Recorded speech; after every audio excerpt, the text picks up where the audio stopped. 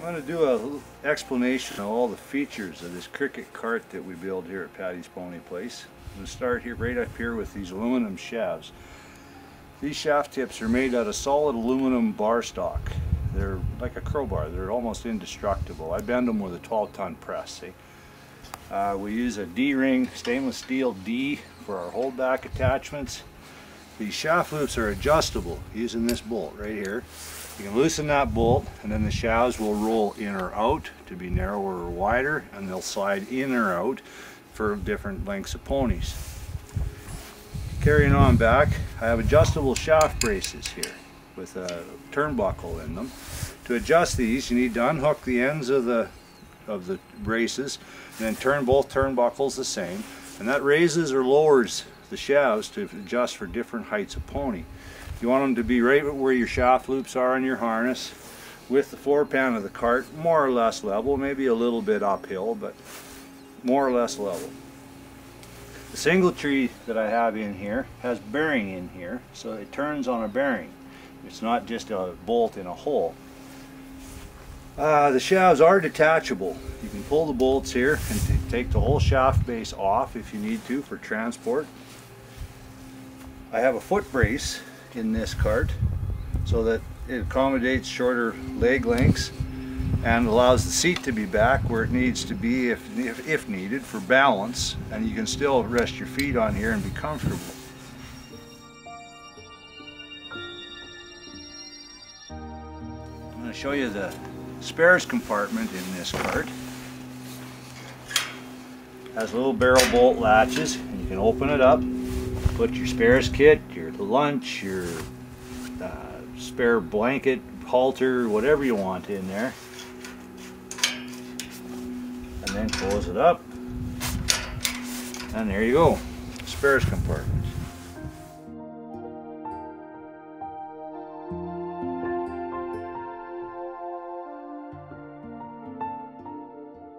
The seat on this cart slides ahead and back. That's what you use to balance the weight of the cart.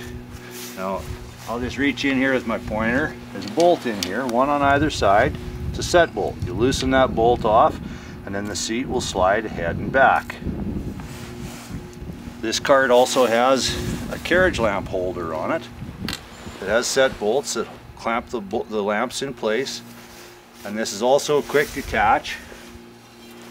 Has a wing nut on each side. You can loosen these wing nuts off and then lift the whole carriage lamp bracket right off.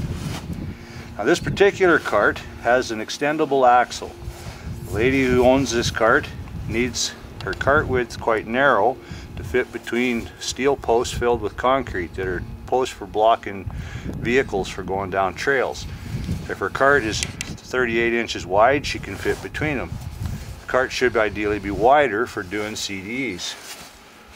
So you take and pull these pins like this.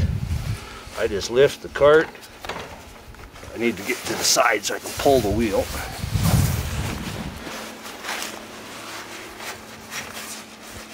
And I just pull the wheel out, line my hole back up here.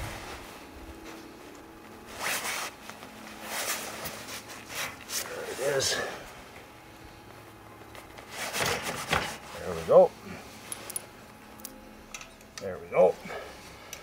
Then I, after sliding my axle out, I put my pins back in place, like so. And there we have the wider wheel width.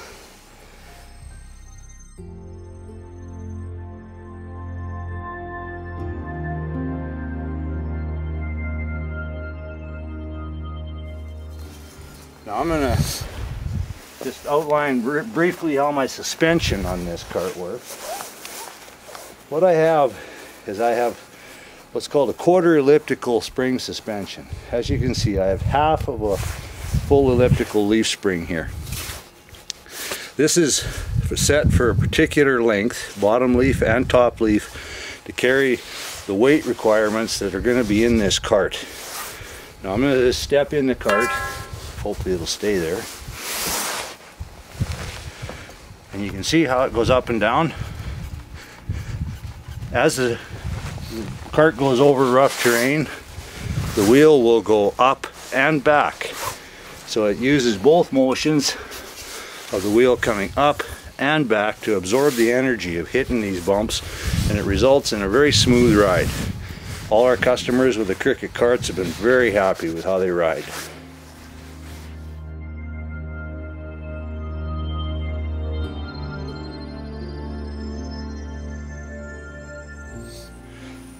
So, to sum it all up, this is indeed a Cricket for a 34 inch pony. You can go up or down a few inches one way or the other.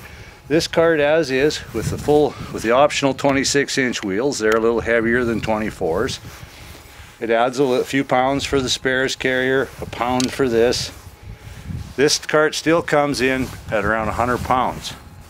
We're pretty pleased with that. I can get this cart down to under 80 pounds by putting 24 inch wheels, knocking off the wheel guards, uh, make the cart a single wide seat and just downsize it a little bit for the smaller ponies. So if you've got a 30 to 34 inch pony, I can build this cart to weigh 80 pounds or less. That's about it.